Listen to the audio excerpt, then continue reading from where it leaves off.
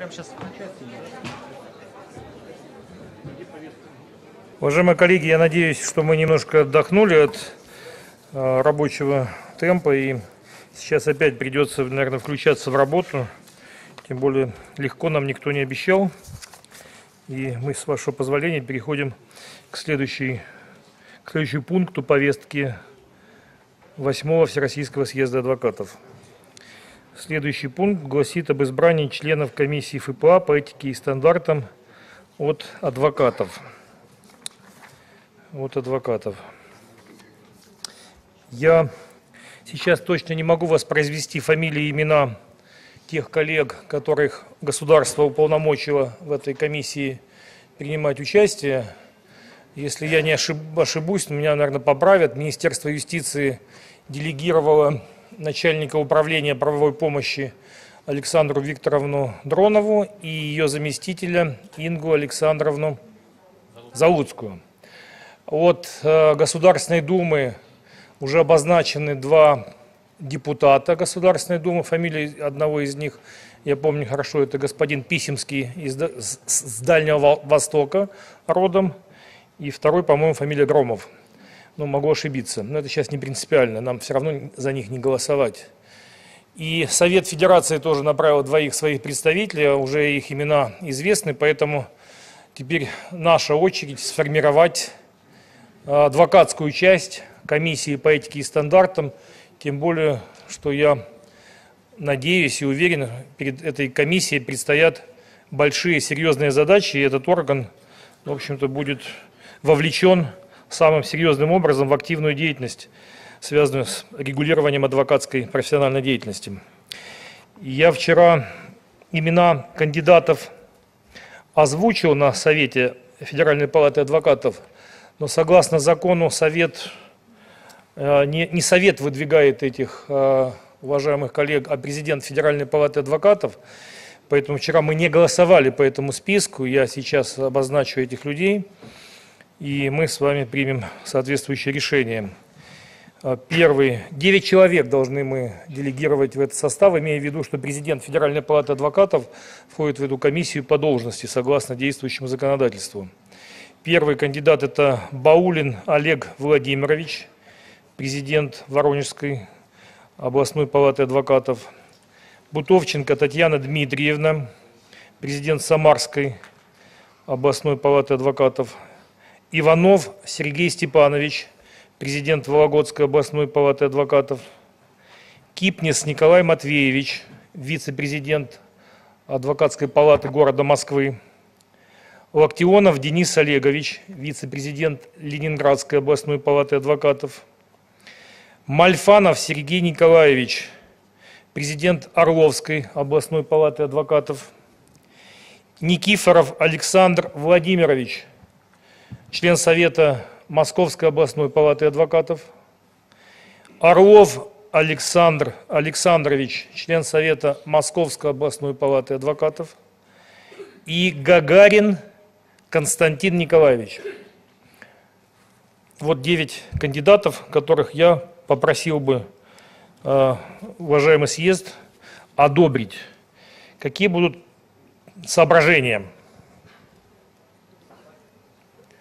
Тогда, с вашего позволения, я попрошу проголосовать за указанный состав коллег. Кто за, прошу поднять мандаты. Нет, это все. Спасибо. Кто против, воздержался, Таковых нет. Теперь следующий вопрос. Избрание членов ревизионной комиссии. Вчера Совет Федеральной палаты адвокатов поддержал мое предложение по семи кандидатам. Я с удовольствием оглашу их имена. Это Руденко Ольга Борисовна, президент Ставропольской краевой палаты адвокатов, Свинцова Надежда Николаевна, президент Тамбовской областной палаты адвокатов, Умнов Александр Викторович, президент Курганской областной палаты адвокатов. Залманов Валерий Яковлевич. Герасимов Алексей Анатольевич. Полетила Ольга Олеговна. И Жерновой Анатолий Владимирович. Семь человек. Других не будет предложений? Тогда, уважаемые коллеги, прошу голосовать. Кто за то, чтобы поддержать указанных коллег в состав ревизионной комиссии Федеральной палаты адвокатов? Спасибо. Кто против? Таковых нет. Кто воздержался? Таковых тоже нет. Следующий момент, связанный с определением размера отчисления адвокатов. А где ротация совета? Это в конце? Так, у нас еще ревизионная комиссия не отчиталась. А, вон в чем дело. Понятно. Хорошо, как скажете, я готов подчиниться сценарию. Тогда, с вашего позволения, покидаю место. Пожалуйста, Андрей Иванович, вам место. Э, для отчета э, ревизионной комиссии э, о результатах финансово-хозяйственной ревизии финансово-хозяйственной деятельности ФПРФ за период между съездами слово представляется председателю ревизионной комиссии Валентине Николаевне. Уважаемые коллеги, добрый день. Хочу, пользуясь случаем, поздравить всех нас с этим знаменательным событием, с очередным Всероссийским съездом адвокатов – именно съезды делают историю в адвокатуре, приятно на них присутствовать.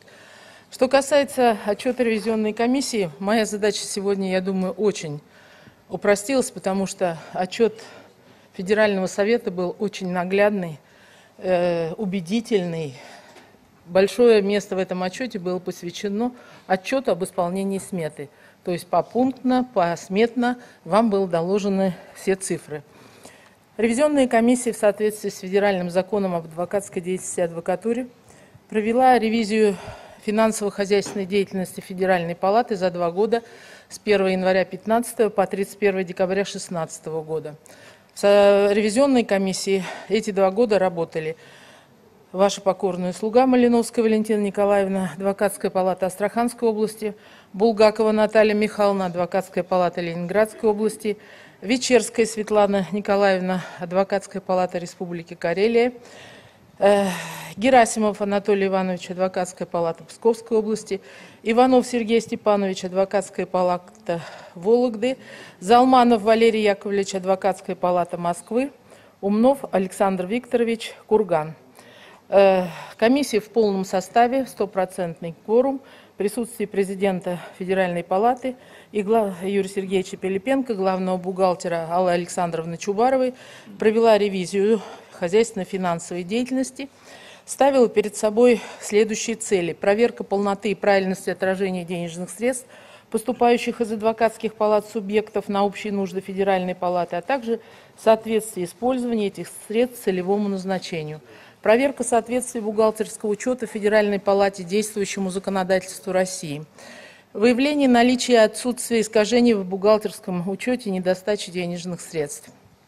Анализ хода исполнения сметы Федеральной палаты, утвержденной седьмым Всероссийским съездом адвокатов. В проверке нам были представлены выписки банка, платежные поручения, кассовая книга, отчеты кассира, оборотно-сальдовая ведомость по счету 71, расчеты с подотчетными лицами, авансовые отчеты, ведомость учета основных средств – расчетно-платежной ведомости на отчисление и выплаты заработной платы, бухгалтерская отчетность налоговая отчетность, учетная политика. По мнению, по выводам э, ревизионной комиссии, бухгалтерский учет в Федеральной палате все эти два года велся в соответствии с требованиями Федерального закона о бухгалтерском учете номер 402 ФЗ, положением по ведению бухгалтерского учета и отчетности в Российской Федерации – утвержденным приказом Минфина от 29 июля 1998 года в редакции 24 декабря 2010 года и осуществляется с использованием компьютерной программы 1С предприятия 7.7. Организация ведения бухгалтерского учета в палате производится в соответствии с положениями учетной политики. В ходе ревизии выявлено следующее. Бухгалтерская налоговая отчетность достоверно во всех существенных отношениях отражает финансовое положение палаты по состоянию на 31 декабря 2016 года и результаты ее деятельности за двухлетний период с 1 января 2015 года в соответствии с требованиями законодательства Российской Федерации в части подготовки бухгалтерской налоговой отчетности. Все хозяйственные операции, производимые палатой, оформляются соответствующими документами, которые служат первичными учетными документами, на основании которых ведется бухгалтерский учет. В результате проверки кассовых документов искажений и недостач денежных средств не обнаружено. Доходы Федеральной палаты формировались эти два года за счет обязательных отчислений адвокатских палат субъектов на общие нужды Федеральной палаты и на проведение мероприятий. Как докладывал Андрей Владимирович Сучков, за два года всего в Федеральную палату поступило, э, буду говорить в тысячах рублей, 330 тысяч 514 тысяч рублей. Из них 660 поступлений от адвокатских палат на проведение мероприятий к 150-летию присяжных, э, адвокатуры присяжных поверенных. Общий размер поступления обязательных отчислений адвокатских палат э, за эти два года превысил на 11 614 тысяч рублей, больше запланированного в посмете. Увеличение поступления обусловлено фактическим увеличением числа адвокатов от запланированного. Среди э, сумм, которые я называла, присутствует 10 747 тысяч рублей, которые приняты в качестве зачета. Зачет производился адвокатским палатам Хабаровского края на проезд к месту проведения совета члена совета э, Адвокатской палаты Республики Карелия на проезд члена ревизионной комиссии, Адвокатской палаты Пермской области на издание книги адвокатура. Позвольте, сумму не буду называть. Э, Адвокатской палаты Воронежской области чемпионата по шахматам, Палаты Санкт-Петербурга, финансирование Института адвокатуры – Э, Палате Республики Татарстан, Всероссийский чемпионат по мини-футболу, Палате Нижегородской области э, на проведение чемпионата России по шахматам среди адвокатов и Палате Ханты-Мансийского округа на проведение международной научно-практической конференции, посвященной памяти Ковалева «Ковалевские чтения». Кроме того, был произведен зачет практически каждой палате – Э, от которой приняли участие молодые адвокаты в работе Конгресса молодых адвокатов в городе Ялте. Этот зачет был произведен в общей сумме больше, чем 2 миллиона рублей. Поступления все отражались на балансовом счете 76.86 и в аналитических таблицах по округам и палатам – Э, подавляющее большинство адвокатских палат субъектов добросовестно выполняют свои обязанности по отчислениям на общие, на общие нужды ФПА. По состоянию на конец 2016 года была обнаружена фактическая задолженность сроком свыше двух месяцев на сумму около 1 миллиона 100 тысяч рублей у четырех адвокатских палат. Позвольте, я их оглашу также, потому что ревизионной комиссией было установлено, что практически в течение года эти адвокатские палаты тоже не соблюдали периодичность платежей, а именно ежемесячных отчислений. Накапливали задолженность, потом ее как-то погашали, и вот они оказались в числе задолженников на конец 2016 года. Адвокат, все за три месяца. Адвокатская палата Удмурской республики, Адвокатская палата Мурманской области, Адвокатская палата Республики Бурятия и Адвокатская палата Республики Тыва. Это просила бы обратить внимание своих коллег на то, что адвокатская палата, э, Федеральная палата адвокатов существует на наши с вами отчисления 200 рублей ежемесячно. Эти отчисления нужно, конечно, своевременно перечислять. Как Евгений Васильевич обращался к съезду, говорил, что мы некий такой паровоз, который надо постоянно что-то подбрасывать, чтобы он двигался вперед. То есть нужны средства постоянно на выполнение уставных задач Федеральной палаты адвокатов. Ревизионной комиссии установлено, что все расходы имеют обоснованный характер, и они документально подтверждены. Сумма расхода 330 240 тысяч рублей, и более, большая их часть – это по разделу сметы расходы по организации адвокатуры и содействию профессиональной деятельности. Это 166 тысяч 099 тысяч рублей. Как Андрей Владимирович обращал внимание, есть превышение расходования средств, но за счет того, что средств поступило больше, и они расходовались именно на общие нужды адвокатов России. Э, полученные средства были использованы вот как раз на проведение тех же зачетов, которые в сумму более 10 миллионов рублей и вылились. Э, было, комиссия отмечает, увеличение расходования средств по статье вот, по изготовлению продукции с символикой палаты, Андрей Владимирович объяснял, значит, увеличение расходования средств по поддержанию Э, профессионального обучения и финансирования института в Санкт-Петербурге, а также стартовал новый проект, э, знаете, это проведение вебинаров. Кроме того, незначительное увеличение по статье «Программное обеспечение», поскольку в 2015 году были проведены работы по модернизации и редизайну сайта ФПА, также незначительно увеличены расходы по канцелярские Э, оргтехники, полиграфические, хозяйственные, почтово-телеграфные и подписка на периодические издания. Увеличение расходований по статье «Содержание сотрудников палаты» обусловлено тем, что в 2016 году при увольнении сотрудников выплачивалась существенная компенсация за неиспользованный отпуск, а также произошло увеличение числа сотрудников. По разделу 9 «Прочие непредвиденные расходы» отражены расходы, произведенные, но не запланированные в начале, а именно на приобретение основных средств. Мебель, зал заседаний Совета ФПА в 2015 году в кабинеты вице-президента, прокупалась оргтехника и дополнительный сервер для обслуживания электронной почты ФПА. Комиссия отвечает, что все расходы соответствуют целевым статьям сметы, которая утверждена Всероссийским съездом предшествующим нарушений каких-либо нет. И увеличение расхода по статьям, которые обозначены и в отчете Совета, и э, в акте ревизионной комиссии, произведено в соответствии, мы считаем, с утвержденной седьмым Всероссийским съездом адвокатов 22 апреля 2015 года сметой. И самое главное, хочу добавить, во благо адвокатуре, потому что вы сами видели наглядно те итоги, которые случились у нас за два года. Хочется надеяться на то, что дальше будет еще, еще больше гордости за то, что мы принадлежим к нашей профессии что она становится такой заметной. А, спасибо, Валентин Николаевна. Уважаемые представители э, палат, э, в секретариат не поступило э, никаких заявлений в обсуждении, никаких вопросов, поэтому я ставлю вопрос на голосование. Кто за утверждение отчета ревизионной комиссии за период хозяйственной деятельности между съездами? Кто за, прошу голосовать. Так, ну, я вижу подавляющее большинство. Прошу опустить. Кто против? Против нет. Кто воздержался? Воздержался нет, принято единогласно. Э, следующий вопрос.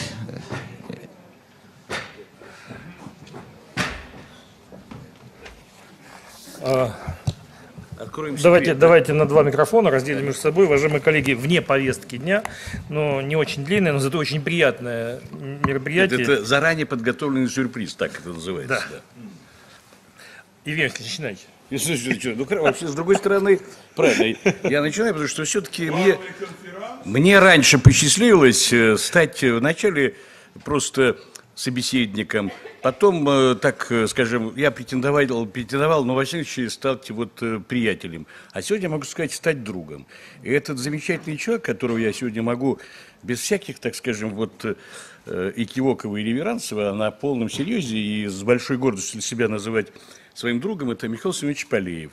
Э, вот мы ждали сегодняшнего съезда, сегодняшнего мероприятия, потому что 3 марта этому нашему замечательному другу российских адвокатов исполнилось 60 лет. Михаил Семенович, мы чрезвычайно вам благодарны за то внимание, которое вы оказываете российской адвокатуре. Конечно, вы не всегда добры к нам, как, может быть, нам хотелось, но мы за это вас и уважаем, за то, что вы не только слышите наши желания и наши пожелания, но и отстаиваете интересы государства в том случае, когда интересы государства действительно имеют определяющее значение. Поэтому взаимодействие с вами, работа с вами приносит вот и мне уже сейчас а, искреннее удовольствие, о чем я с большим счастьем говорю с этой трибуны. Поэтому спасибо вам большое от имени Российского адвокатского сообщества. Долгих доброго здоровья, так держать, вы также выглядите всегда прекрасно. Ну и даст Бог, что мы еще не один раз скажем в ваш адрес добрые слова. Потому что Михаил Семенович имеет э, такое замечательное качество э, предостерегать еще и от ошибок. Вот будучи нашим, может быть, самым замечательным другом, он одновременно никогда не пропускает никаких наших ошибок, если мы вдруг так немножко слишком, что называется, заносимся или отрываемся от почвы. Мне кажется, это дорогого стоит. И в этой связи, но не только поэтому, мы хотели бы от имени Совета Федеральной палаты адвокатов вручить вам а, медаль первой степени за заслуги в защите прав и свобод граждан.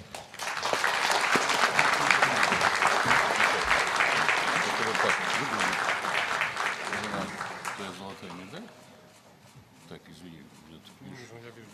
да? Может быть, стоит ведь- показать, да? Вот, вот она так Коллеги, вот выглядит. она так выглядит, хотя многие из наших коллег Знают, как она выглядит. как она выглядит, да. Вот. Удостоверение, все как положено. Так что горячо от всей души. У нас, кстати, есть еще награды, э, так сказать, по, да- дальше. И я надеюсь, что вот э, у тебя будет шанс э, весь наш наградный ряд выбрать в перспективе, так сказать. Пару слов. Коллеги, это действительно был, хотя и запланированный, но для меня совершенно неожиданный сюрприз. Я горд и очень рад этой награде, этим добрым словам, которые здесь были сказаны. Как вот жаль, что моего сына здесь нет, чтобы он послушал, что о его отце говорят его коллеги. Вот в каком-нибудь бы виде до него донести, а то он все считает, что вот э, я как госслужащий делаю какое-то там дело, но оно такое. А вот он выигрывает там на полмиллиарда рублей. Вот это совсем другое дело. А мне вот теперь есть, что ему предъявить. А если серьезно, еще раз спасибо, спасибо огромное, Юрий Сергеевич, Евгений Васильевич. Здоровья.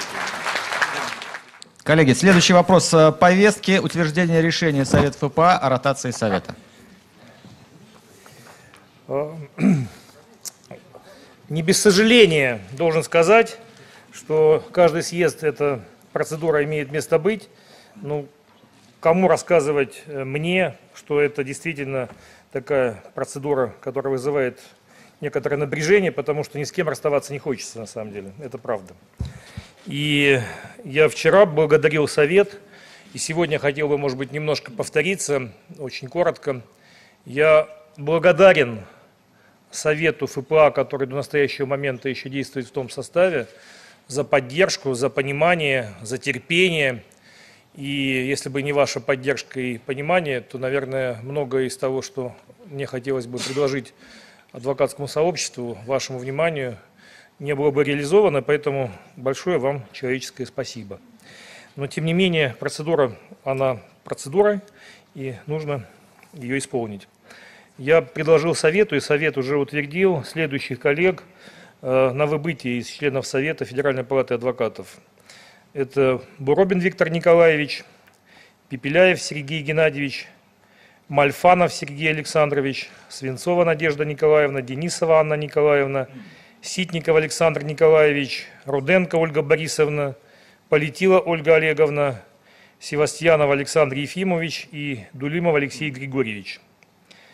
Я хотел бы поставить этот список на голосование и прошу тех, кто готов подтвердить это решение Совета, проголосовать. Кто, Кто за? за утверждение Совета, прошу голосовать. Кто за? Подавляющее большинство. Прошу опустить. э, прошу опустить. Кто против? Нет. Э, кто воздержался? А- Один человек. Э, принято большинством голосов. Спасибо.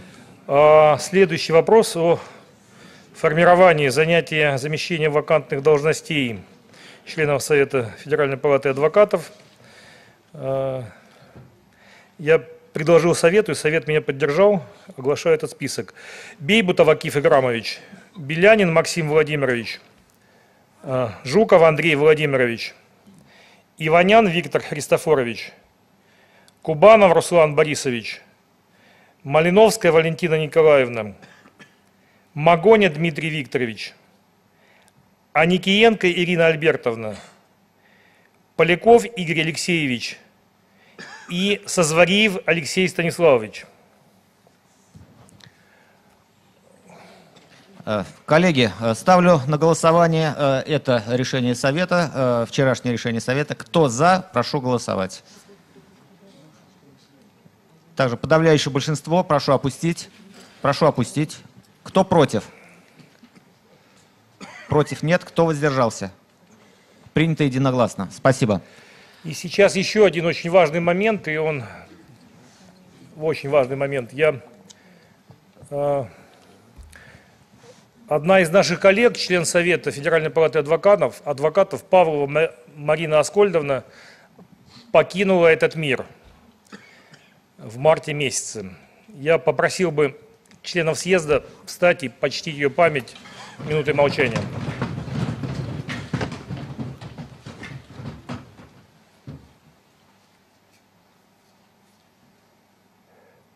Спасибо.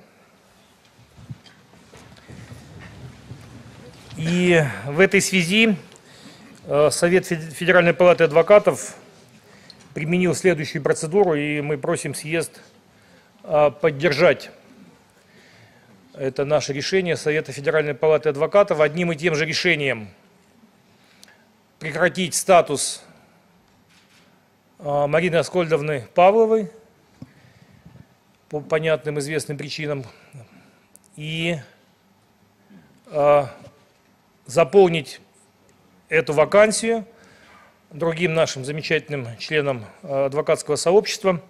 Это Копырина Марина Николаевна. Я думаю, что имеет смысл проголосовать эти два вопроса одновременно. Э, Коллеги, кто за утверждение решения Совета о досрочном прекращении э, полномочий члена Совета и кандидатуры для замещения вакантных должностей, те, которые были озвучены? Кто за, прошу голосовать. Также подавляющее большинство. Кто против? Против нет. Э, Кто воздержался? Принято единогласно. И тогда следующий вопрос, давайте мы как-то вдвоем, я пока еще стою здесь, вы как будете идти, обозначу его определение размера отчисления адвокатских палат субъекта Российской Федерации на общие нужды Федеральной палаты адвокатов. Э, Уважаемые коллеги, как мы с вами это и обсуждали, как мы с вами об этом и договаривались, мы не будем каждый э, съезд по возможности повышать э, взносы адвокатов на содержание Федеральной палаты адвокатов. Несмотря на то, что те финансово емкие, но заметные и очень, по-моему, нужные мероприятия, о которых мы отчитались, имели место быть, и мы собираемся в следующий отчетный период тоже сделать много чего интересного и полезного для российских адвокатов, считаем возможным не поднимать, не, не ставить вопрос об изменении ставок отчисления в этом году и оставить прежний размер 200 рублей с а, одного адвоката. Нет других точек зрения. Совет вчера поддержал эту позицию. Тогда прошу голосовать. Кто за то, чтобы оставить этот размер отчисления, прошу поднять бюллетени. Спасибо. Кто воздержался? Против? Против или воздержался? Таких нет. Андрей Иванович, уступаю вам трибуну. Пожалуйста. Э, Спасибо. Э, Тем не менее, по вопросу э, увеличи- э, о размере отчислений, э, я бы хотел избежать э, тех моментов, которые у нас были несколько раз на съезде. Я не исключаю, что, возможно, съезд рассмотрит, следующий съезд, девятый, рассмотрит этот вопрос о повышении отчислений. Я предложил бы, чтобы не было тех эксцессов, которые случались у нас на, ранее. В региональных палатах при формировании бюджета включать формулировку, что в случае принятия Всероссийским съездом адвокатов решения об увеличении э, размера ежемесячных отчи- отчислений на общие нужды Федеральной палаты, э, размер ежемесячных отчислений адвоката в регионе повышается на эту сумму с момента принятия такого решения или э, с момента указанного съездом. Поскольку у нас были такие случаи, когда там региональный президент говорит, ну, у нас уже сформирован бюджет, и мы э, буквально несколько месяцев назад мы предстали перед фактом. По-моему, такая нормальная, э, соответствующая э, положениям закона и э, универсальная формулировка, которая по- позволит ну, сразу инкорпорировать решение съезда уже в размер взносов региональной адвокатской палаты. Следующее это вопрос о смете доходов и расходов. Направления сметы остаются те же. Э, База для вычисления э, доходной части, э, размер отчислений 200 рублей мы уже проголосовали с каждого адвоката. И э, из расчета 73 тысячи адвокатов. Э, это э, больше, чем э, есть в настоящий момент, но мы просмотрели э, ту динамику, которая была вот за последние два года, и взяли э, ту среднюю цифру, которую мы предполагаем, э, что она будет э, в середине вот этого будущего нашего периода, на который мы э, формируем смету. Основные направления э, расходной части остались э, те же, э, которые и были в отчетном э, периоде. Э, то, что сейчас мы рассмотрели, это расходы по организации адвокатуры и содействию профессиональной деятельности, состоящие из координации деятельности адвокатских палат, это проведение съездов, конференций, советов, церемонии награждения, заседания различных комитетов, я, может быть, не буду озвучивать цифру, в раздатках у вас есть. Э, этот, хотя могу и э, сказать, общие это э, расходы по этой строке, это 152 670, опять же говорю, это в тысячах рублях. Если нужно понимание года, то делим на два. Под статья это координация, координация деятельности, которую сейчас я обозначил, это 40 тысяч 70. Расходы по изготовлению корпоративной продукции 4100. Обеспечение высокого уровня оказания юридической помощи – это обучение а, адвокатов, руководителей адвокатских образований палат, а, повышение квалификации, проведение а, обучающих семинаров. Это 20 э, тысяч. Научно-исследовательская, методическая, законотворческая работа, в том числе деятельность науч научно-консультативного совета и экспертно-методологического совета Федеральной палаты. 12 100. Работа со СМИ, в том числе э, содержание адвокатской газеты. Я уже сказал, что мы планируем попытки выводения на самоокупаемость предпринимать в будущем периоде. И э, в эту же статью входит проведение брифингов, пресс-конференций, поддержка адвокатских изданий. Э, э это и Вестник адвокатской палаты 38200. И издательская деятельность, это отдельно, это книги и учебные пособия, которые э, э, заказывает и печатает Федеральная палата. 7 э, тысяч. Э, представление интересов Федеральной палаты в международных организациях, это как э, членство, выезда и приема делегаций в России 21 500. И те, те же расходные обязательства, вернее, а, а, расходные а, строки, которые были, которые мы чуть-чуть повысили на предполагаемый размер инфляции, рост цен. Это услуги связи интернет 2650, поддержка информационных правовых баз данных 1750, программное обеспечение это антивирусы, бухгалтерские программы 1400, комиссии банка 300, констовары, расходные материалы 2500, почтово-телеграфные расходы 1100. А, в том же размере остается у нас содержание помещения, это арендная плата и ремонт. А, затем расходы на приобретение обслуживания основных средств 6800, а, практически в тех же размерах. Единственное, что сказал, что содержательно они будут немножко отличаться. Если раньше это была больше вот мебель в связи с переездом, сейчас это будет оргтехника и компьютерная техника. Содержание сотрудников палаты 58 900 немного отличается в сторону увеличения от э, расходов в отчетном периоде не за счет увеличения, просто сейчас мы э, несколько иной принцип делаем формирования сметы. Если у нас оплата по проектам, э, допустим, проведение Э, церемонии награждения, там в том числе была и заработная плата тех лиц, которые мы привлекали, то теперь мы ее переносим вот чисто заработную плату, то есть э, все, что выплачивается физлицам по ведомости, оно как раз будет вот в этой э, четвертой строчке. Содержание сотрудников палаты 58 900, незначительное увеличение планируем, премиальный фонд практически в том же размере 7500, доп. выплаты единовременного характера одна тысяча. Налоги, страховые взносы чуть э, выросли в связи с увеличением фонда оплаты труда 31 970 и прочие непредвиденные 2 тысячи.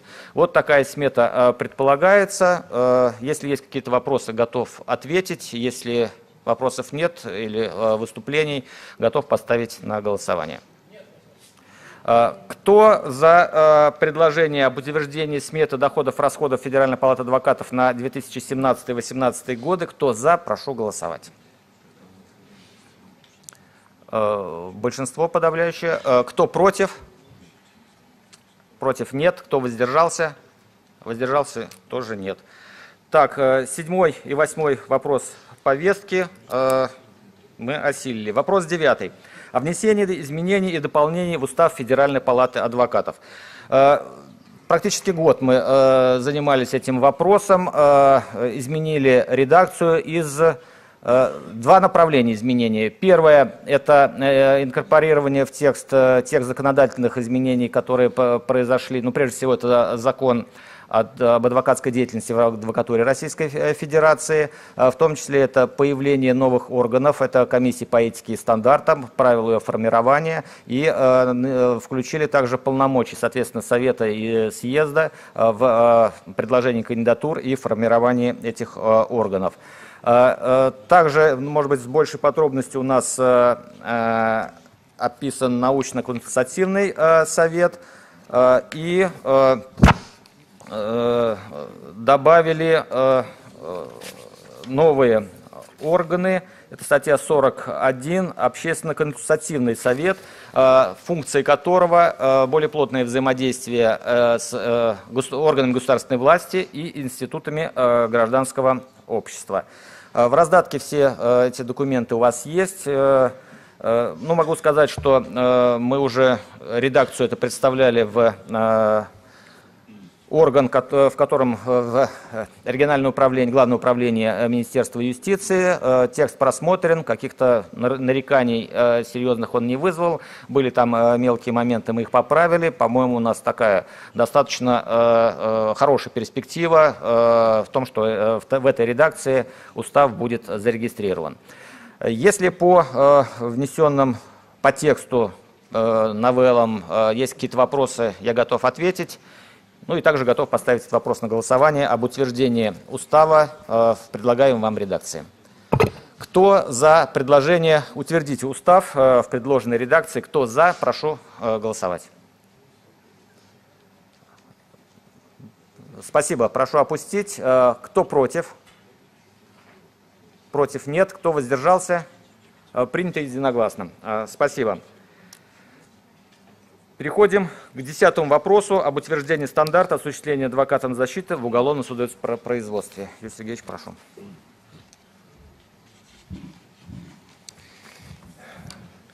Уважаемые коллеги, о стандартах несколько слов. Мы специально как-то достаточно давно начали предметно обсуждать те проекты, которые наши коллеги готовили в комиссии по этике и стандартам, для того, чтобы почувствовать, а, что же адвокатское сообщество по этому поводу думает. Потому что для адвокатского сообщества вообще-то ситуация абсолютно новая. И несмотря на то, что в других юрисдикциях такого рода институты, как стандарты той либо иной юридической деятельности существуют, для нас это абсолютная новелла, это идеологически даже было удивительно, как это и так. Но это была потребность времени, и нас даже вот в каком-то смысле Господь Бог уберег то, что мы начали обсуждать и готовить этот документ не после того, когда что-то с нами случилось, а перед тем, когда с нами что-то могло случиться. Ну, один из примеров таких, он может быть не самый э, болезненный, который мог бы быть по последствиям, но он яркий, потому что он известный и, и так далее. На съезде судей вот в конце, по результатам 2016 года, в марте этого года выступал председатель Вологодского областного суда господин Шепель, э, рассказал о том, что адвокаты по назначению бездельники, ничего не делают, не являются, а если являются, подписывают только бумажку и уходят – и пора с этим безобразием заканчивать. Надо немедленно вводить институт государственных защитников. Если мы уже платим бюджетные деньги, то почему это должны быть адвокаты, придут лучше честные, искренние, настоящие государственные защитники, и пускай они получат эти бюджетные деньги. А, ну, эту ситуацию отдельную мы сумели э, замять. Мы специально, Евгений Васильевич, нарушив свои планы, поехал на конференцию в Вологодскую область, договорились о встрече с председателем суда. В общем-то, он признался в том, что не это имел в виду, когда выдвигал такую идею. Но господин Шепель в этом смысле, э, не, ну, он яркий был представитель этой идеи, но эти идеи достаточно давно бродят, на самом деле, в кое-каких местах. И понятно, что под разным предлогом э, нас пытаются объявить людьми, которые не исполняют свой профессиональный долг. Поэтому хотя бы по этой причине нам нужно было принять эти стандарты. И я должен Э, сказать э, большое спасибо, искреннее спасибо Дмитрию Николаевичу Талантову, который совершенно с такой большой самоотдачей больше года занимался над этим проектом, этим проектом, работал над этим документом. И он со свойственным ему энергией и такой нетерпимостью, конечно же, попытался, попытался в этот документ вложить максимум из того, что можно было бы, возможно, вложить даже забегая на десятилетия вперед. И совершенно естественно, что адвокатское сообщество оказалось не вполне готовым к этим революционным идеям. Были даже такого рода шутки, по-моему, сам Дмитрий Николаевич эту шутку придумал, о том, что он написал инструкцию по использованию адвоката. И тем не менее, этот его труд, эта его работа, она была не бесполезна, потому что отталкиваясь от его наработок, потом несколько групп людей, наших коллег, включились в эту работу. Воронежская областная палата адвокатов, Николай Дмитриевич Рогачев вместе с Геннадием Константиновичем Шаровым. Потом Костромичи нас удивили. Мы их попросили прочитать, а они взяли и написали. А, как в том анекдоте, их послали подсматривать, они стали подслушивать. Тем не менее, это о чем говорит? Это говорит о том, что был действительно такой искренний интерес к этому новшеству, к этой новелле, которой никогда еще адвокатуры не было. И в результате мы создали с вами согласительную комиссию. Состав этой согласительной комиссии известен. И пришли к умозаключению, что, наверное, нужно поискать компромиссный вариант, который бы, который бы наверное, был приемлем для большинства наших коллег – Понятно, что и он неприемлем исключительно для всех. Потому что даже сегодня я уже с одной коллегой обсуждал текст стандарта, который выносится на голосование, несмотря на то, что он обсуждал что уже 128 раз, 129 а, раз переписывался и, и так далее и тому подобное. И даже на совете вчера мы вносили в этот э, стандарт две правки по настоянию наших уважаемых коллег – Николая Дмитриевича Рогачева, который, к сожалению, приболел, передает, кстати, всем привет, не смог сегодня быть, и по настоянию Генри Марковича Резника. Я, конечно же, а, оценил и ту, и другую поправку как стоящую на грани фола, в том смысле, что Николай Дмитриевич повышает стандарты чуть больше, чем нам бы хотелось, а Генри Маркович понижает, несмотря на все обыкновения, которые он нам демонстрировал, стандарты тоже на грани фола. Но меня успокаивает одно, то что мы идеальный документ все равно не смогли бы сделать, а мы сделали максимум возможного, что мы смогли сделать. И, наверное, комиссия по этике и стандартам должна в ближайшее время будет ответить на те вопросы, которые обсуждали в ходе дискуссии. Напоминаем, мы договорились все нестандартные ситуации стандартом не называть и потом решениями, разъяснениями комиссии и с решениями совета мы докрутим все вот эти вещи, которые нас действительно волнуют, и на сегодняшний день они все еще встречаются в практике, вызывая конфликты. Я, честно говоря, не знаю, есть ли смысл постатейно как-то обсуждать, еще текст этот э, видеть, выводить на экран.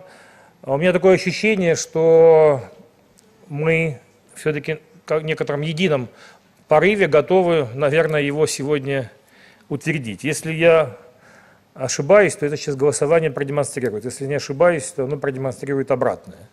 Поэтому текст стандарта есть у всех, он был разослан всем. Вчера на совете утвержден с маленькими двумя дополнениями. И я полагаю возможным поставить это на голосование. Кто за, прошу голосовать. Спасибо, вижу большинство. Кто против? Воздержал? Против раз, два, три человека. Спасибо. Вы против или за, я не понял? Ну, три пока вижу. Три человека против. Кто воздержался? Таковых нет. Спасибо. Переходим к следующему вопросу о внесении изменений и дополнений в Кодекс профессиональной этики адвокатов.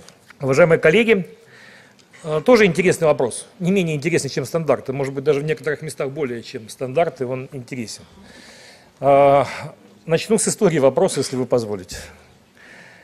Так получилось, что Всероссийский съезд адвокатов, практически каждый съезд правит кодекс профессиональной этики. И, честно говоря, хотелось бы уже когда-то остановиться.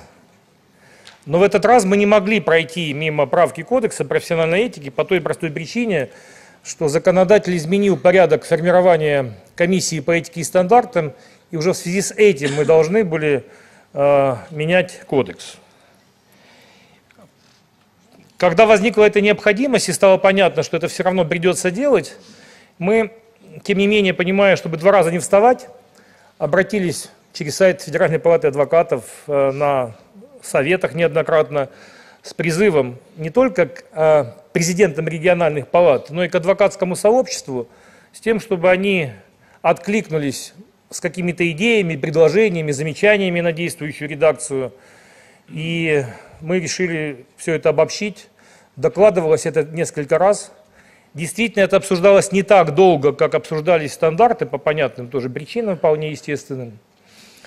И более того, текст поправок в кодекс был проголосован в Екатеринбурге 17 февраля на Совете и принят за основу. Мы договорились тогда там, ввиду имевшихся неких разногласий, внимательно обсудить редакцию 9 и 25 статьи Кодекса с тем, чтобы уже вот к съезду и по ним не было разногласий. Поэтому я бы сегодня, с вашего позволения, остановился, может быть, только на двух действительно статьях этого кодекса. Это 9 и 25. Что касается 9 статьи, наверное, вся идеологическая там, дискуссия или борьба вокруг этой статьи, она связана с авторитетом адвокатуры и необходимостью защитить авторитет адвокатуры от посягательств. Я вчера по этому поводу на совете выступал, Постараюсь сильно не повторяться, но я скажу следующее. Сожалению, большому так получилось, что на 15 году существования нашего закона и Совета Федеральной палаты адвокатов некоторые наши коллеги, которые позволяли себе недопустимое, абсолютно недопустимое, стали героями нашего времени. И о них говорили как о защитниках свободы слова, как о, как о людях, которые готовы пострадать за свободу слова, ну и всякие прочие благоглупости. Я, выступая на конференции Московской областной палаты адвокатов, привел такой пример, сейчас он мне вспомнился. Ну вот если ты мужчина и женат на женщине, и начинаешь ходить по белу свету на конференциях под телекамерой, рассказывая, что она негодяйка – не так одевается, не так лежит, не так стоит. Так а зачем же тогда тебе с ней быть, проще расстаться? Но одновременно жить с ней и ходить э, из трибуны рассказывать о, о том, что она не такова, его недостойна, красавца, ну совсем невозможно. И вот этот маятник, я вчера приводил этот пример вседозволенности, вседозволенности, он качнулся, по-моему, слишком далеко настолько далеко, что нам уже, наверное, можно начинать стесняться того, что мы состоим в адвокатуре, которая насквозь коррумпирована, срослась с правоохранительными органами и так далее и тому подобное. И людям почему-то даже в голову не приходит мысль о том, что вот эти все наши жалобы на низкую обращаемость к адвокатам, на то, что нам не доверяют, они, наверное, с этим ведь тоже связаны. И, наверное, ведь тоже с этим связаны, когда человек изнутри находящийся в нашей профессии выходит на трибуны и рассказывает абсолютные глупости о нас, не соответствующие действительности, унижающие наше достоинство, деловую репутацию и так далее. Наверное же общее отношение к адвокатуре от этого в стране не улучшится, правильно?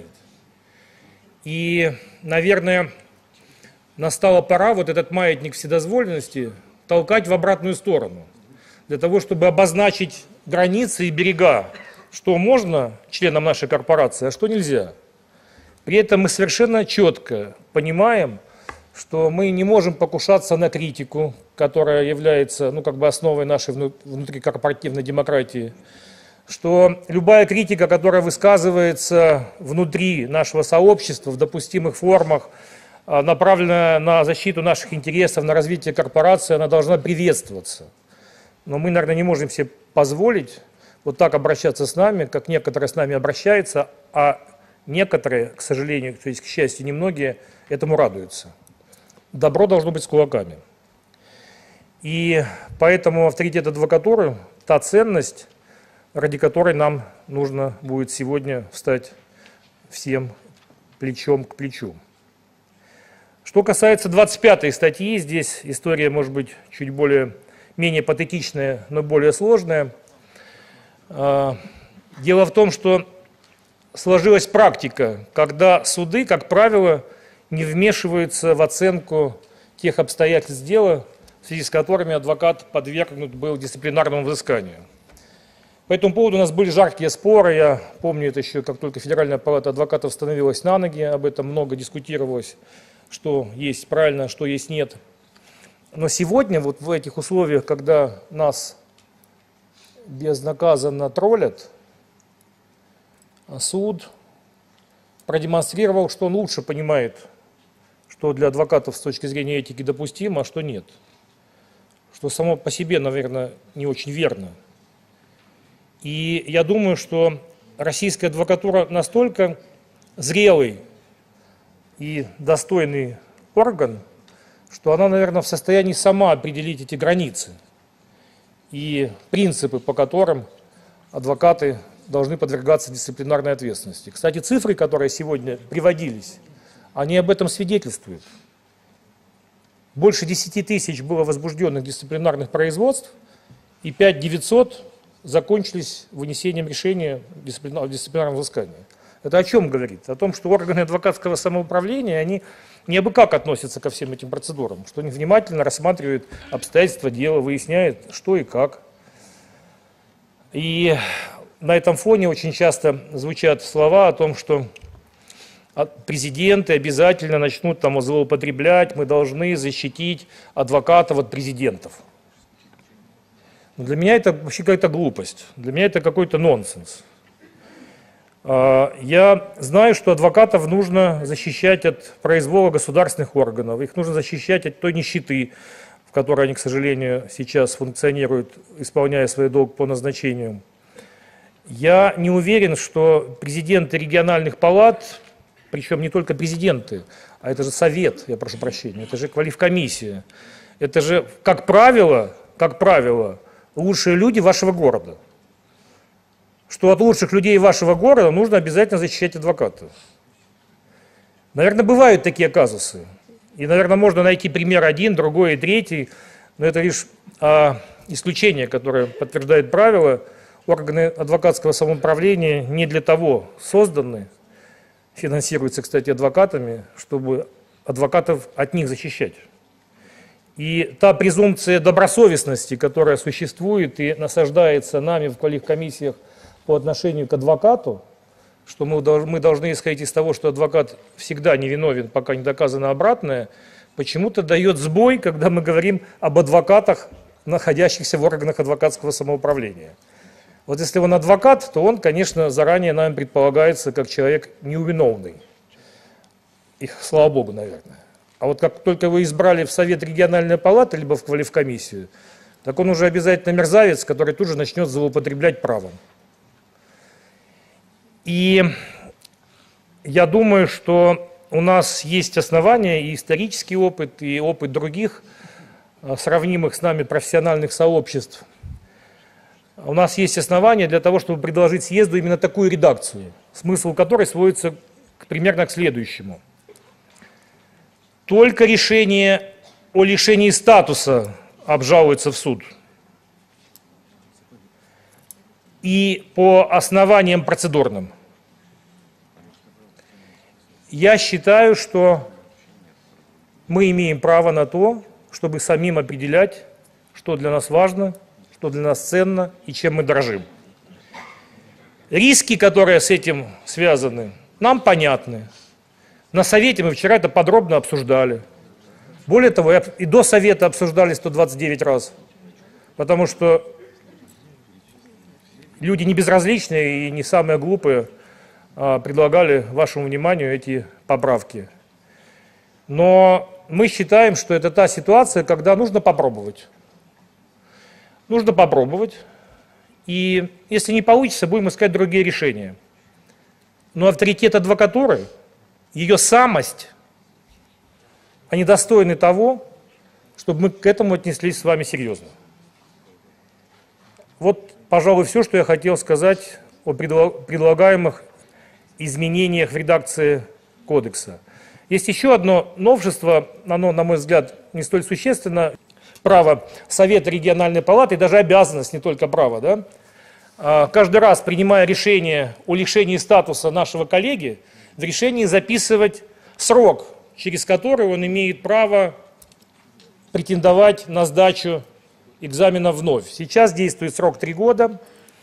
Некоторые коллеги считают, что это вообще должно быть бессрочным. Но вот мы с Николаем Матвеевичем это дискутировали, он совершенно справедливо заметил, что есть все-таки для примера там уголовный кодекс, его наказание и степень там тяжести, она разнится. Поэтому мы и предлагаем от года до пяти. Вот ежели коллега, который, условно говоря, ну, оступился, и нельзя не, не отреагировать, так пускай он через год опять попробует пройти через это сито, экзамены, там, взносы первого года и так далее. А если вы его совсем не хотите видеть, ну пускай это будет 5 лет. Если он через 5 лет сумеет вернуться в профессию, ну, наверное, уж сумеет. И было такое предложение о том, что будет расценено как повод для коррупционных проявлений. Мне кажется, что любое решение Совета Федераль... Э, региональной палаты может быть расценено как повод для коррупционных проявлений. А если вы боитесь, чтобы о вас плохо не подумали, так назначайте всем одинаковый срок. Три года и три месяца. А, у меня все, спасибо. Кто хотел бы по поправкам в кодекс высказаться? Уважаемые коллеги, уважаемый съезд, а, я просил бы вас выслушать позицию, а, которую хотел бы озвучить. В частности, я а, принципиально возражаю против новеллы, изложенной в части 5 или в пункте 5 статьи 9 Кодекса профессиональной этики адвоката. У каждого есть кодекс, у каждого есть проект поправок.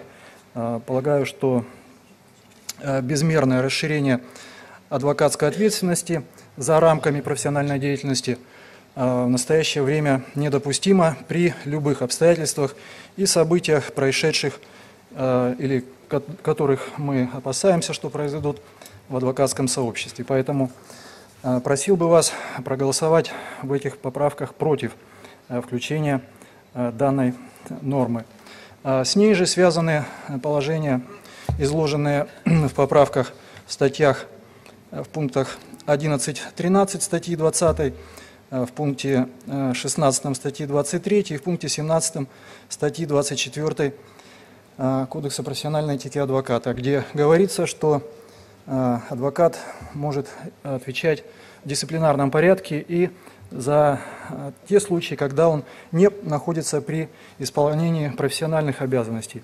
В связи с чем э, я выскажу собственное предположение о возможности в таком случае переименования Кодекса профессиональной этики адвоката в Кодекс, ну, допустим, просто этики адвоката, поскольку профессиональные э, составляющие в этом названии уходят на второй план, уступая место а, другим обстоятельствам, которые излагаются в поправках. Мирнов Олег Валерьевич, прошу. Президент Адвокатской палаты Иркутской области.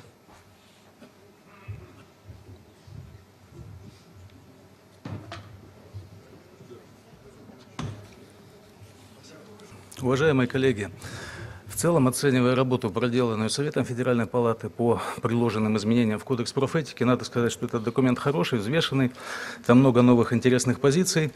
И когда мы получили эти предложения, мы также в своей адвокатской палате организовали их обсуждение не только в Совете, в квалификационной комиссии, но разместили на сайте, и, что удивительно, получили достаточно много отзывов. Отзывы, как я примерно сказал, заключаются в том, что в целом документ хороший и нужный, но три позиции все-таки вот вызывают вопросы, и эту позицию я считаю необходимым довести до вашего сведения по статье 9 Кодекса профессиональной этики.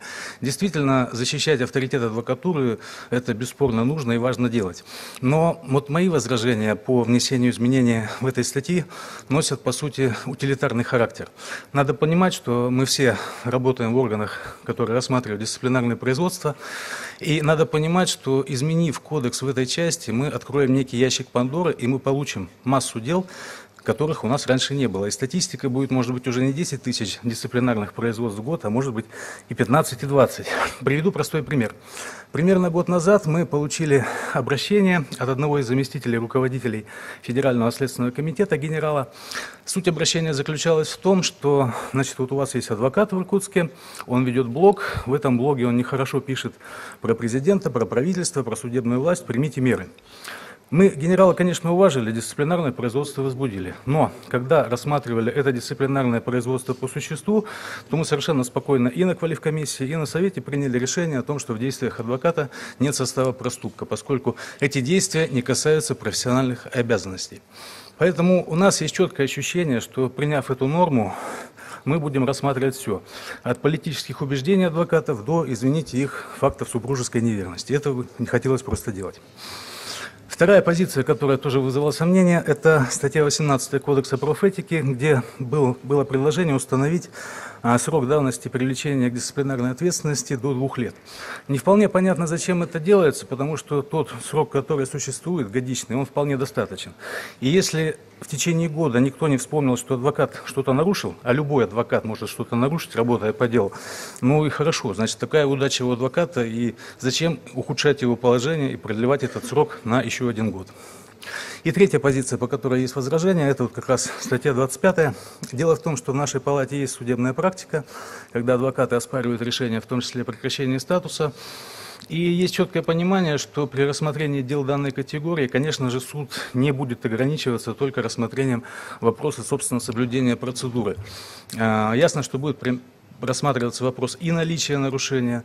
Ясно, что будет рассматриваться вопрос и виновности адвоката. От этого никуда не уйдем, и изменениями в кодекс мы в этой части совершенно не закроемся. А Еще будут выступающие? Прошу, Марина. Нет. Нет, нет, нет, нет, к микрофону.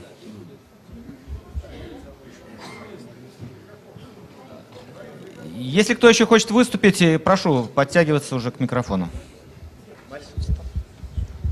Меня видели, чтобы я стояла ко всем лицом. Я просто, честно говорю, не собиралась выступать, но послушав выступление коллег, я просто возмущена. Мы хотим, чтобы нас уважали, но в профессии. То есть в профессии мы асы, мы хороши, но в быту мы можем делать что угодно. Никто не говорит, что будут проверять, кто с кем спит и на каком боку. Но когда, извините, у меня есть адвокат, который с 2014 года, с мая, пишет мне всякие гадости, смс в отношении моих коллег, в отношении моей семьи, в отношении товарищей, и причем не просто нелицеприятные высказывания, а, извините, нецензурные выражения, вы считаете это нормально? Вот такие ситуации, когда возникают, с такими ситуациями надо бороться. Когда у нас, допустим, вот периферия, у нас в районах адвокаты, извините, пьяные из-за руля выпадают. Их лишают, стат, лишают прав, они ездят без прав, продолжают выпадать из-за руля. Это что, добавляет авторитет адвокатуре? Не надо забывать, что у нас есть не только, так сказать, нарушения в быту, но самое основное у нас то, что это должно подрывать авторитет адвокатуры. Поэтому я предлагаю эти поправки голосовать за. Спасибо, Мария Николаевна. Еще выступление. э, Владимир Васильевич с большим удовольствием и внимаем. Владимир Васильевич, для нас большое удовольствие, то, что вы приехали на съезд. Спасибо. Прошу аплодисменты Владимиру Васильевичу Калитвину.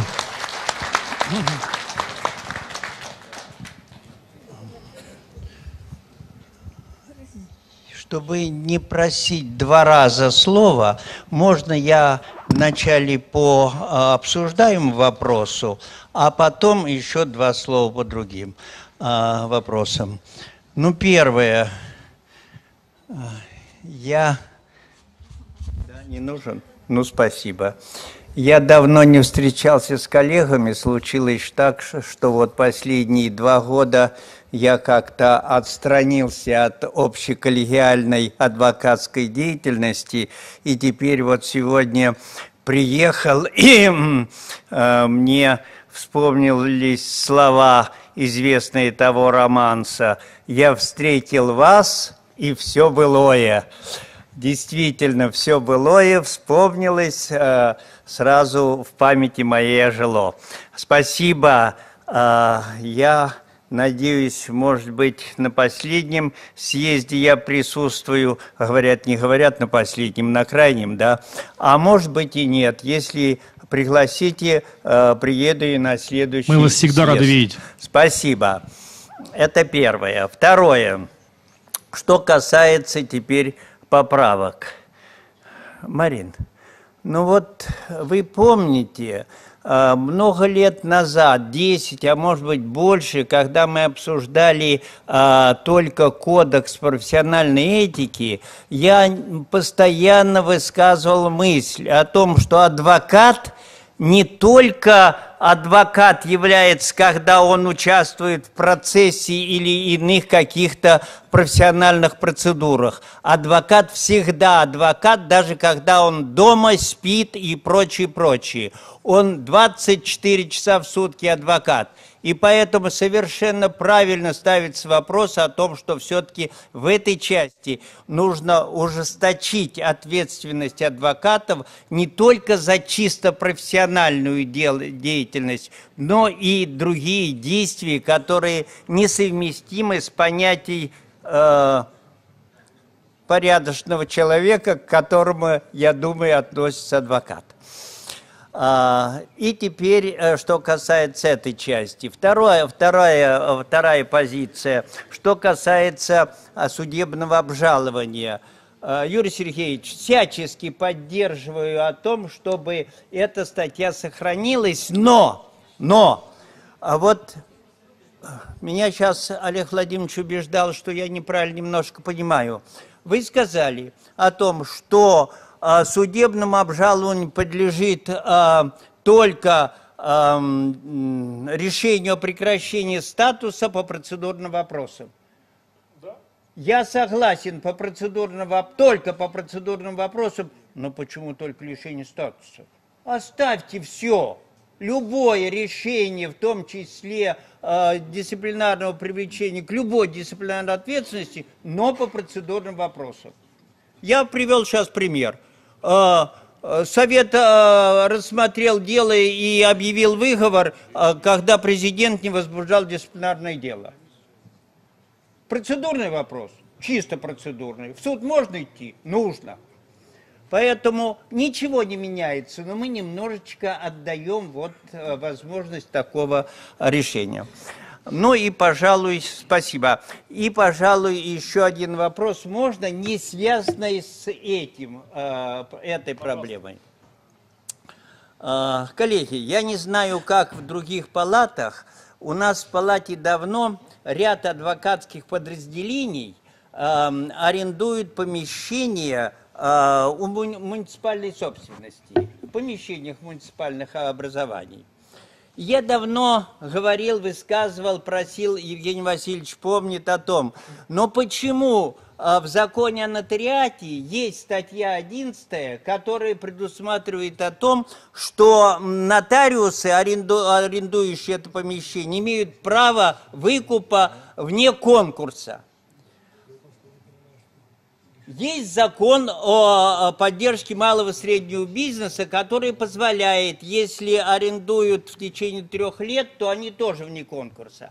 Но мы попытались, говорит, нет, адвокатура к этой категории не относится. Согласились, действительно не относится. Мы взяли и придумали один а, а, ход конем. А, отдали а, все эти помещения малому бизнесу, с тем, чтобы этот малый бизнес выкупил через три года эм, эти помещения, а мы их забрали. Опять не, не беда. А, в этом году не продлили действие этого закона. И теперь мы остались вот э, на распутье. Поэтому, э, Юрий Сергеевич, э, ну неужели нельзя уговорить депутатов, хотя бы одного, хотя бы одного, э, который бы внес либо продлить это действие этого закона, либо э, внести, ведь э, это финансово никакое обременение для государства совершенно нет. Более того, наверное, пользу финансовую получит э, э, бюджет. Мы попытались сами выкупить, но налетели несколько сразу участников и думают, ага, там адвокаты, я это помещение выкуплю, и с них буду э, получать соответствующие э, денежные платежи. Но э, неужели, чем мы хуже нотариусов-то? Спасибо, Владимир Владимирович. Взяли на заметку. Будем Вот работать. я бы попросил съезд прямо поручить Совету Федеральной Палаты этот вопрос ну, ре- как, как-то, как-то обсудить. Это же, я думаю, что это просто никто не занимается. Я думаю, сложится... Конечно, конечно. Толчеев Михаил Николаевич, адвокатская палата Московской области.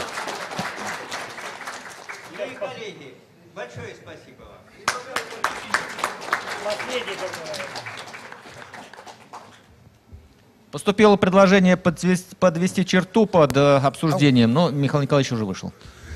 Да, коллеги, э, добрый день, кого не видел. Я хочу обратить внимание, что за последние 150 лет в адвокатуре вот этот вопрос э, авторитета адвокатуры не, претерп, не претерпел каких-либо серьезных изменений. Все наши предшественники – и до революции, и советская адвокатура, все считали, что мы обязаны защищать интерес адвок... А, авторитет адвокатуры.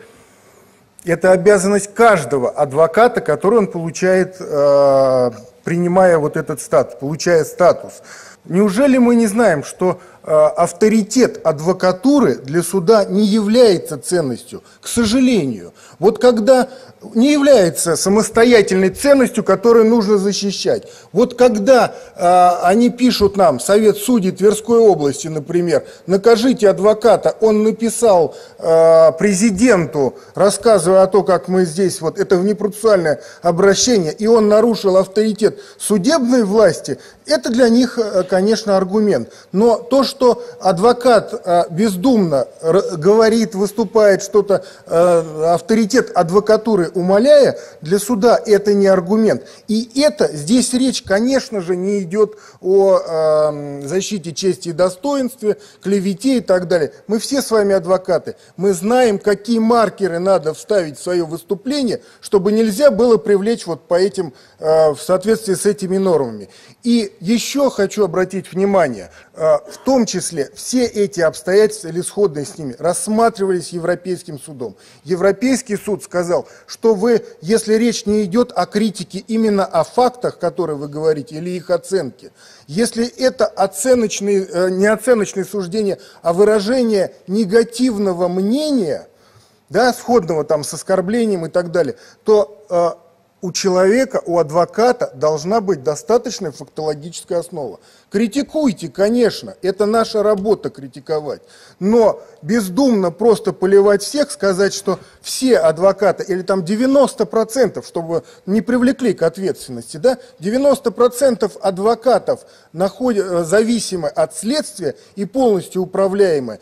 Это недопустимо, потому что это отражается на каждом из нас. Нас конференция тоже уполномочила на это. Наши адвокаты сказали, нельзя плевать в свое же сообщество. На конференции сказали и э, приняли единогласно это. Мы уже все доводы высказали. Мы уже все доводы высказали, они есть. А, если есть у кого-то вопросы, пожалуйста, пишите. Мы сейчас с Александром Орловым готовим большую подборку по Конституционному суду, по а, Европейскому суду, где все эти моменты изложены. Я готов вам ответить, а, все ссылки дать и так далее. Спасибо большое, Спасибо. Николаевич.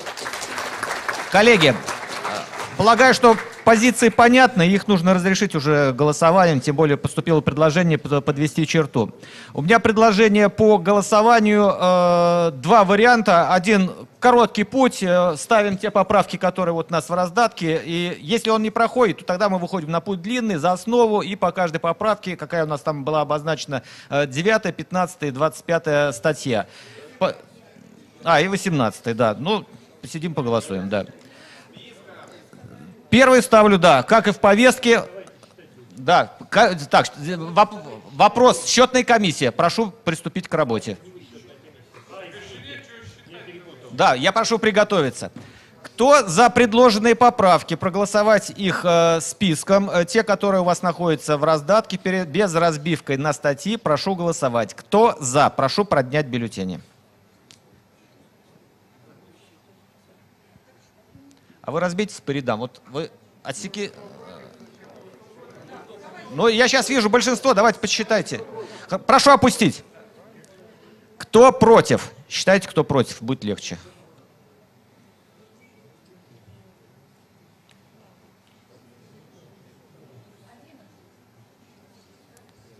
Тринадцать я вижу.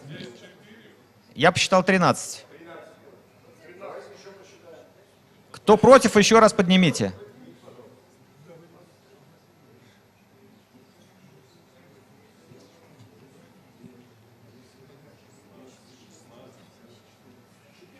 14. 14. 14, э, э, при 14 против... А, стоп, кто воздержался?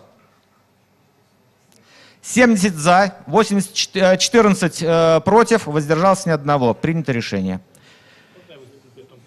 Прошу.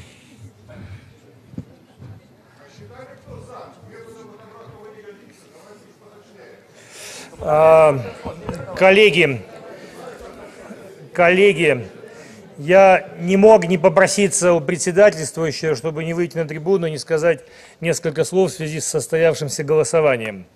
А, Во-первых, мне приятно, что все-таки большинство наших коллег а, свою корпорацию уважает, любит и желает ей хорошего. Я, конечно, не могу сказать обратного о тех, кто проголосовал против, а, но мне, честно говоря, очень удивительно, когда вот есть какая-нибудь здоровое какое-нибудь сообщество, да, и, по-моему, все члены этого сообщества должны на самом деле беспокоиться о приоритете интересов этого сообщества. Это, по-моему, настолько нормально, это начиная от муравьев, заканчивая китами. Адвокаты где-то находятся посерединке. И для меня удивительно до сих пор, правда, почему некоторые наши коллеги считают, что сдать наши интересы суду – это хорошее дело. Почему некоторые наши коллеги считают, что судьи порядочнее, честнее, принципиальнее и, и умнее, чем мы. Ну, право слова вот этого понять никогда не смогу. И, конечно же, я бы попросил тех коллег, которые проголосовали против, если они имеют в виду только 25-ю статью, потому что, может быть, кто-то возражал против какой-нибудь там 15-й, да, а 25-я статья у него не вызывала, на- на- наоборот, противления. По поводу э, дискуссии состоявшейся, там тоже есть какие-то вещи, на которые можно было бы не обращать внимания, но как-то неудобно не обращать внимания на некоторые вещи. Вот вышел коллега, дай ему Бог здоровья, здоровья продлит Аллах его дни. Он говорит, представляете, нам генерал из Следственного комитета написал письмо. Мол, адвокат о политике в блоге пишет и требует призвать его к ответу. Так мы же сейчас захлебнемся, говорит нам коллега, как будто бы откровение такое, знаете, небесное. А вот коллега не понимает, что блоги о политике это к авторитету адвокатуры никакого отношения не имеют. Я э, не знаю точной цифры, но мне, как президенту Федеральной палаты адвокатов, ежемесячно по 5-7 заявлений, обращений с просьбой возбудить дисциплинарное производство в связи с появившимися у меня полномочиями. Обращают, нет. под-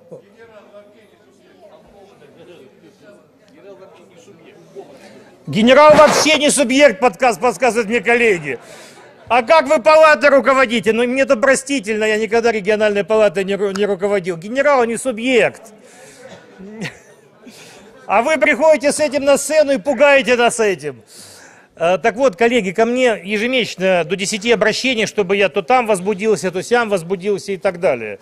Я пишу, у меня в исключительных случаях, и этот случай я исключительным не считаю. И мир не рухнул, и земля крутится дальше.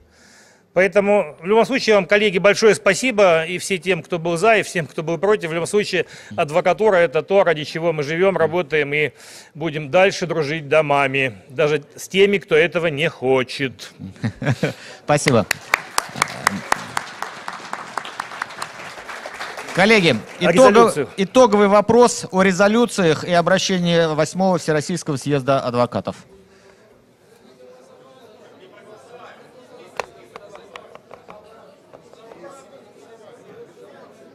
Что-то мы не проголосовали, Андрей Подождите, Владимирович. что мы не проголосовали? Первый вопрос был поставлен в целом за документ. Пор- Оказывается, подождите, Андрей Владимирович, можно я? Я, кажется, понял. Я, кажется, понял, в чем дело. Коллеги, многие думали, что это первое голосование за то, как голосовать. Пакетно или. Оказывается, мы, мы рано, оказывается, поздравляем друг друга. Ой, есть же некоторые книгачеи, ничего с ними не поделаешь. Вы знаете, кого я имею в виду.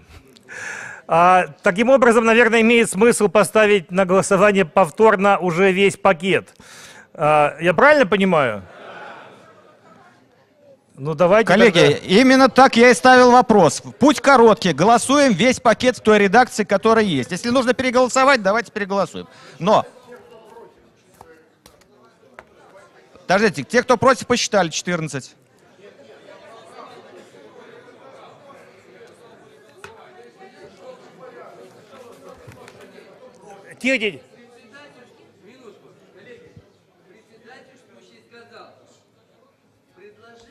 Голосовать списком, а не, как голосовать. Что предложение, что за... И я так понял. За то, что И я так понял. голосовать. И мы за это голосовали. Это два человека, которые там... Вы знаете, кто это, Светлана Игоревна.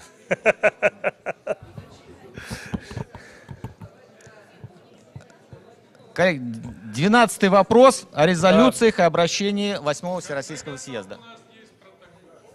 Да, да, да. Ну, у нас и фонограмма, да. Прошу 12 вопрос. Ну давайте мы переголосуем в конце концов. Давайте Ну, переголосуем. Будем это... Коллеги, давайте переголосуем. Еще раз. Еще раз голосуем по 11 вопросу. Попрошу внимания. Попрошу внимания. 11 вопрос. Повестки о внесении изменений и дополнений в Кодекс профессиональной этики адвоката. Понятно, голосуем по какому? По 11. Э, Предлагаю первый вопрос проголосовать пакетно за те поправки, которые есть у вас в раздатке. Если у нас этот вопрос не проходит, мы пойдем за длинный путь, берем за основу и идем по каждому уже предложению. Еще раз, предложение, сейчас голосуем. Пакетно все поправки. Если мы одобряем, одобряем ту, ту редакцию, которая у вас в раздатках. Ставлю на голосование. Кто за, прошу голосовать. Давайте, кто за, подержите, пожалуйста, немножко руку, э, коллеги. Прошу опустить большинство голосов. Кто против? Кто против, прошу поднять руки. Кто против принятия поправок, а, бюллетень, э, да, бюллетень для голосования. Кто против поправок, которые находятся у вас в раздатках? Принятие его единым блоком. Три. —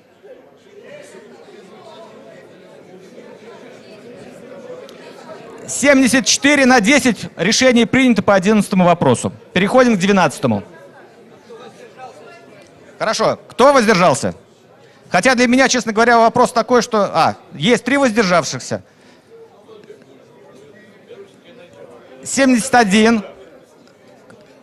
Так, 71 за, 3 воздержался, 10 против. Решение принято. Все равно поздравляю. Спасибо. И все-таки 12 вопрос. О резолюциях. Вообще у нас Геннадий Константинович должен Он, он докладывать. готов. Ну, можно я уж тут, чтобы два раза не вставать? Уважаемые коллеги, я надеюсь, что вы загодя получили проект резолюции и обращение съезда и готов несколько слов сказать. Вчера на совете опять-таки говорил, и многие коллеги об этом слышали, но, наверное, и в этой аудитории имеет смысл повториться. Что касается финансовых проблем наших, понятно, маленькая ставка за один судодень, понятно, долги, понятно, отсутствие единой строки, защищенности и так далее. Но я уже рассказывал членам Совета о том, что мы допекли все-таки Государственную Думу до того момента, что она готова отдельную строку в бюджете для нас обозначить. Другое дело, что у этой строки нет администратора, нет защитника, нет органа, который бы... И самое главное, у нас, нет учета.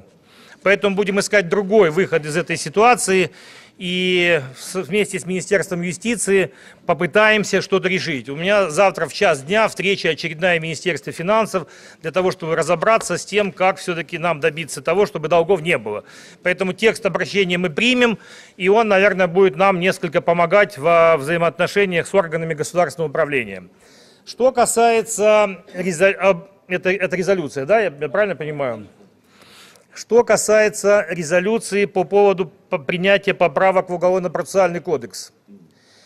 А, Первое, что мы должны сделать, это, наверное, действительно сказать спасибо президенту Российской Федерации, администрации президента и э, депутатам всех уровней а, в связи с тем а, ну, замечательным шагом, который был сделан в сторону интересов адвокатуры. Но это не единственное, на что хотелось бы обратить внимание российских адвокатов и общественности. К большому сожалению, эти права наши могут отказа- оказаться очень краткосрочными. Дело в том, что я уже рассказывал об этом, уже после того, когда эти поправки были приняты в первом чтении, в первом чтении, соответствующие правоохранительные органы проявили к ним повышенный интерес, потому что это удар по их представлениям о добре и зле. А сейчас я примерно понимаю, что будет. К большому сожалению, если органы адвокатского самоуправления невнимательно отнесутся к тому, как будут реализовываться эти дополнительные полномочия, то их отменят просто в ближайшее время, в трех чтениях одновременно. Там ведь в чем опасность состоит? Мы требовали и просили на допуск в места лишения свободы без справки следователя, опираясь прежде всего на негативный опыт двух столиц. Москва прежде всего. А я ведь понимаю, что произойдет. Дело в том, что начиная буквально с завтрашнего дня московские адвокаты, и не только московские, а те, которые приезжают в Москву подзаработать деньги, начнут ходить по следственным изоляторам в поисках клиента. И как вы думаете, система это потерпит? Нет, конечно. А В регионах с этой си- ситуацией справились достаточно просто. Вот мне Андрей Иванович Сучков рассказывал, что когда у них появились первые ласточки, первых ласточек лишили статуса, все перестали ходить по СИЗО искать себе клиентов. И а, в этой связи очень высока ответственность, ну, прежде всего, наших московских коллег за то, чтобы вот эти права не были отняты уже послезавтра. Более того, мы должны попросить адвокатов использовать те дополнительные иммунитеты, которые им этот, э, эти поправки представляют, в тех правовых целях, ради которых это и принималось. Образно говоря, не для того, чтобы наркотики хранили в сейфе. И потом настаивали, не проводите обыск в моем сейфе, пока не приедет полномочный представитель Совета Палаты.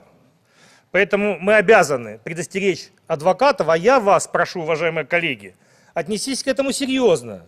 Потому что от вас зависит, как наши коллеги воспользуются этими полномочиями. Проявите твердость, проявите принципиальность, проявите внимательность. И последняя резолюция, обращение, прошу прощения. Об этом я хотел сказать особо.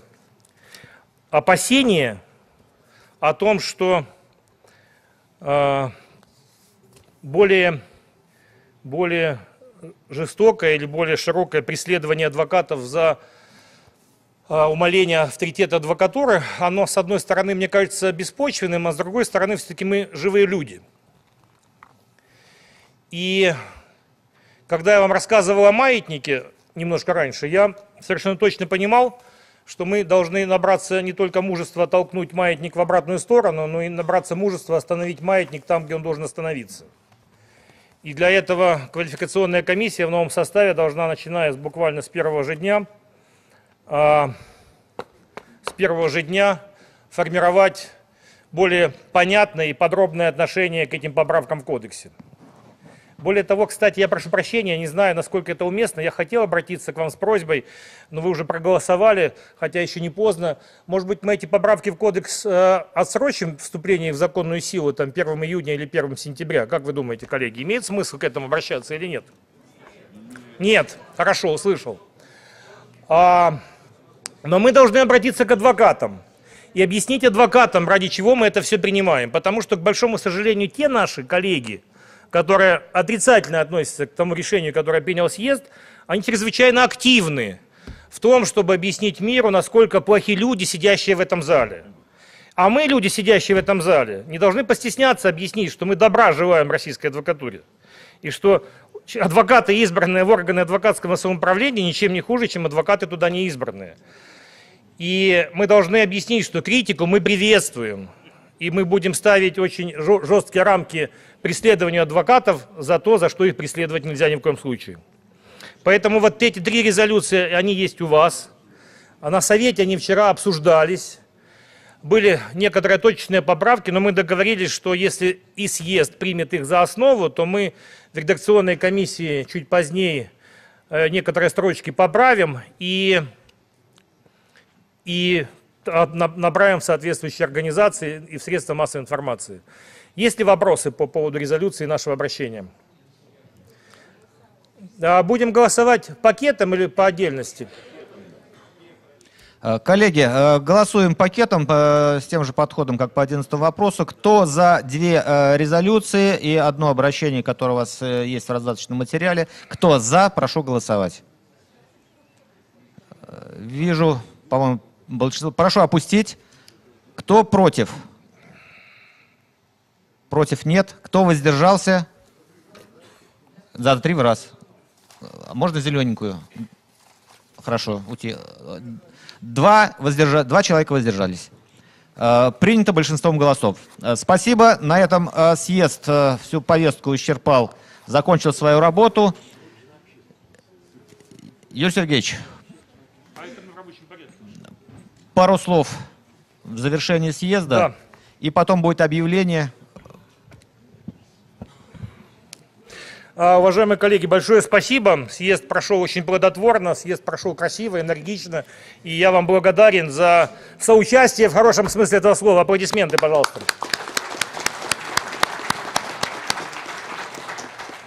Я, конечно же, после съезда попрошу остаться вновь избранный совет и ревизионную комиссию в разных углах, наверное, этого зала.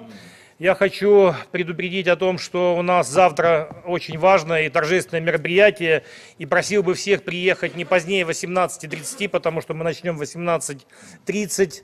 А Место то же самое, что и было в прошлом году, это угол Нового Арбата и Новинского бульвара, второй этаж. Я хочу сказать о том, что у нас 16 мая в Санкт-Петербурге состоится очередное заседание а, нового Совета Федеральной палаты адвокатов. И после этого 17 многие из нас, не все, к сожалению, перетекут э, на конференцию, которая будет иметь место внутри э, правового форума, который проводится сейчас ежегодно. Что еще я должен сказать? Подскажите. Все. Коллеги, большое спасибо. Коллеги, Сейчас большое спасибо. А, Члены совета, прошу остаться. Через 20 минут можно будет в той же зоне поужинать. А за 20 минут, я думаю, что мы успеем за- завершить решение с советом.